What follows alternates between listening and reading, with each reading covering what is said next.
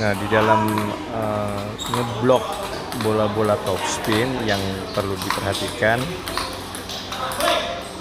jangan terlalu jauh dari uh, meja kira-kira uh, 40 sampai 50 cm saja. Dan bola itu disambut gerakan tangannya dari atas ke bawah. Diperhatikan juga timingnya ya. Jadi jangan sampai bola itu sudah melambung tinggi ya karena putarannya sudah semakin cepat. Perhatikan timingnya.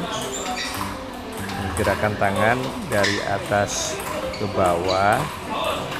Dan bed harus posisinya firm. Jangan berubah-berubah. Dan pegangan tangan ke bed juga di, di jangan keras ya di, di dilemaskan gitu. Jangan dicengkeram kuat-kuat waktu ngeblok kalau top spinnya kenceng kita nggak usah bantu dorong karena dengan kecepatan dari top spin lawan asal kita taruh saja bednya itu dengan timing yang tepat bola sudah memantul ke meja lawan. Jadi kita lihat uh, top spin dari lawan itu keras atau tidak gitu.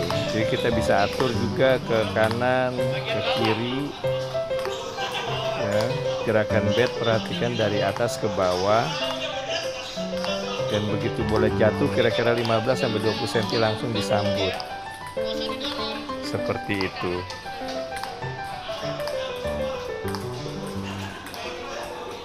Untuk beberapa merek karet memang karakternya eh, berbeda-beda. Kadang kita harus angkat sedikit. Eh, kadang-kadang juga ada yang diturunin saja sudah naik. Jadi lihat uh, karakter karet yang kita pakai. Begitu. Oke selamat berlatih.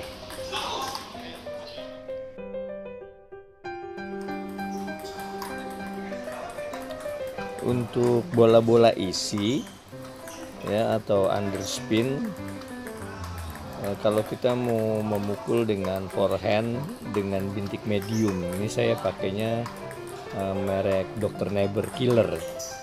Itu yang untuk bola-bola isi kita pukul di bagian uh, bawah bola.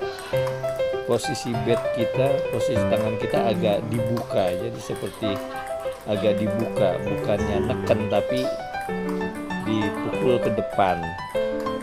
Seperti itu untuk bola-bola isi. Tapi kalau untuk bola-bola top spin nanti di video selanjutnya itu nanti saya akan berikan tutorialnya lagi bagaimana memukul untuk bola-bola top spin dengan menggunakan bintik medium di forehand